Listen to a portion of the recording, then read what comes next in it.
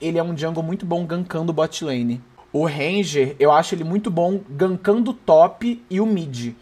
Eu não lembro muito do, do Ranger sendo hiper mega ultra impactante, impactante gankando bot lane. Mas o Yamp, ele é insuportável, ele é o capeta de, de bot lane. Yamp, ele tá na INTZ. Contra quem a INTZ joga essa semana? INTZ pega Red e mais quem? Mano, INTZ e Red eu acho que tem jogo, tá?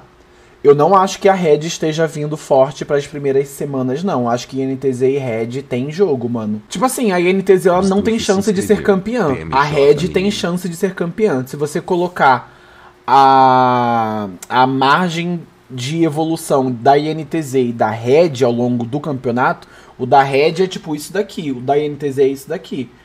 Mas para as primeiras semanas a INTZ pode vir mais forte do que a Red, tá?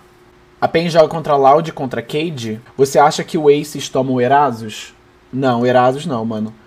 O, assim, possivelmente o Aces é o piorzinho jungle do, do campeonato, né? Mas eu acho que ele consegue se virar bem, mano, individualmente falando, né? Que o time dele por inteiro é bem abaixo em relação aos outros.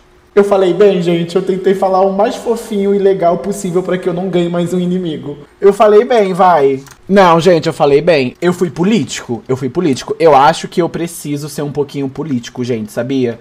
Eu tava vendo vídeos de corte meu ontem e eu acho que facilmente as pessoas poderiam realmente interpretar que eu tô pegando no, no pé da luz, ou que eu tô pegando no pé do lavo, ou alguma coisa assim. E eu não quero que isso fique mal interpretado, tá ligado? Eu preciso ser um pouquinho de político mesmo, porque eu só tô ofendendo. Tem que falar com um pouquinho mais de sensibilidade.